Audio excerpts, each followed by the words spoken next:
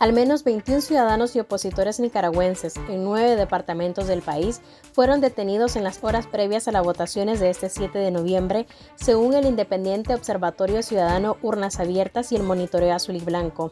En su mayoría se trata de opositores de la Unidad Nacional Azul y Blanco y la Alianza Cívica. Entre los detenidos está Nidia Barbosa de la Alianza Cívica en Masaya, Muammar Bado del partido UNAMOS, Sterling Soriano González de San Juan de Cinco Pinos en Chinandega y Joel Sandino Ibarra en Managua. Cuatro de los 21 detenidos ya fueron liberados, pero 16 continúan detenidos hasta el mediodía de este domingo. Las viviendas de ciudadanos críticos al gobierno también han sido asediadas y allanadas en los días previos a las votaciones por oficiales de la Policía Nacional que argumentan evitar atentados contra la paz. Desde la tarde del viernes en las calles de Managua se observó mayor presencia policial y la cantidad de oficiales aumentó la tarde del sábado, confirmó Confidencial en un recorrido por la capital. La mañana de este domingo, ciudadanos reportaron presencia de antimotines y paramilitares en las calles y juntas receptoras de votos de Matagalpa, Chinandega y Managua. Ante el llamado al no voto de la oposición y comunidad internacional, el partido de gobierno Frente Sandinista movilizó a su militancia para salir a votar desde horas muy tempranas de este domingo. En las afueras de la Junta Receptora de Votos, ubicada en el Ministerio del Trabajo en Managua, simpatizantes del gobierno realizaron filas desde las primeras horas de la mañana. Al ser consultados sobre los nombres de los candidatos presidenciales, muchos se rehusaron a responder o se limitaron a contestar que solamente conocían al candidato a la reelección por tercera ocasión consecutiva, Daniel Ortega. El Frente Sandinista convocó a los trabajadores del Estado y militantes del régimen a trabajar como movilizadores para garantizar el voto sandinista este 7 de noviembre, en las cuestionadas votaciones en las que Daniel Ortega busca su cuarto mandato consecutivo después de arrestar a siete aspirantes presidenciales y anular la competencia política.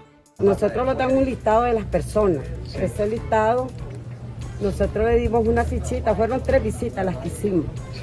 Entonces este, nosotros llegábamos pues y, lo decían, este, en esta junta es la que va a votar usted, esta es la junta que le pertenece. Tenemos las caponeras, hay vehículos, hay sillas de ruedas para mover a las personas más de edad. Poca afluencia de votantes en Matagalpa y otros departamentos. A pesar de la movilización de simpatizantes del FSLN, los centros de votación lucieron vacíos la mañana de este domingo en Managua y el interior del país. Reportes de Matagalpa y otros departamentos indican que la afluencia de personas es menor que en años anteriores. Los votantes que acuden a las juntas receptoras de votos son principalmente trabajadores del Estado y ciudadanos que se identifican con el Frente Sandinista. Días atrás, servidores públicos denunciaron que el partido de gobierno a través de las unidades de victoria electoral les advirtieron que están obligados a salir a votar, tomarse fotos con el dedo manchado e invitar a sus familiares a hacerlo. Ciudadanos también denunciaron en redes sociales una fuerte vigilancia y patrullaje de policías y civiles motorizados en los centros de votación y las calles alternas. El canciller del régimen Denis Moncada se presentó a votar a tempranas horas en el Centro Educativo Guardabarranco en Managua. A su salida no perdió la oportunidad para hacer proselitismo político en los medios oficialistas. Invitamos a todos los nicaragüenses, a todas las mujeres nicaragüenses, a todos los jóvenes nicaragüenses a depositar su voto con dignidad, con patriotismo, con derecho de nicaragüense a elegir sus autoridades. Los sandinistas y la gran mayoría del pueblo nicaragüense vamos a elegir hoy al presidente, al comandante Daniel, a la vicepresidenta, la compañera Rosario.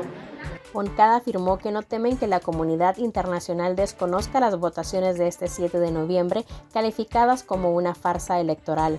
No vamos a intimidarnos con sus amenazas, con sus medidas unilaterales, con sus sanciones, con sus amenazas de desconocimiento de elecciones. El comisionado Francisco Díaz y el jefe del Ejército Nacional Julio César Avilés también acudieron a su junta receptora de voto y ambos aseguraron que estas elecciones han transcurrido con mucha calma y paz y que no se han reportado ningún tipo de incidencias. La legitimidad de las votaciones de este 7 de noviembre es cuestionada por Estados Unidos y la Unión Europea, entre otros gobiernos y organismos internacionales, ante el recrudecimiento del Estado policial de facto. El pastor Guillermo Osorno, candidato presidencial por el partido Camino Cristiano Nicaragüense, denunció que no le permitieron ingresar a sus fiscales en las juntas receptoras de votos y que sí le fue permitido el ingreso a otras personas que no contaban con la acreditación correspondiente. Alertamos a las autoridades electorales para que pongan el orden y que el resultado sea eficiente, afirmó Osorno.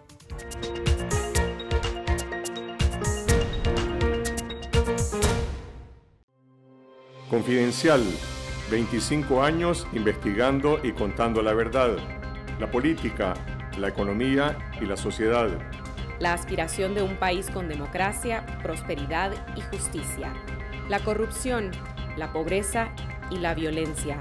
Los temas que afectan e interesan a todos los nicaragüenses. Revelamos la verdad que otros ocultan. Fiscalizamos el poder. Promovemos el debate público Hacemos periodismo independiente. Por una ciudadanía crítica y mejor informada. Contá con nosotros, estamos cada vez más cerca de vos. Nunca podrán confiscar la verdad. Confidencial, conectados con la verdad.